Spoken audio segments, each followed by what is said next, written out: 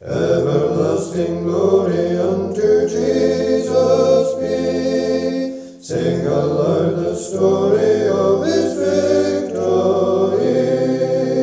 How he left the splendor of his home on high, carrying love so tender on the cross to die.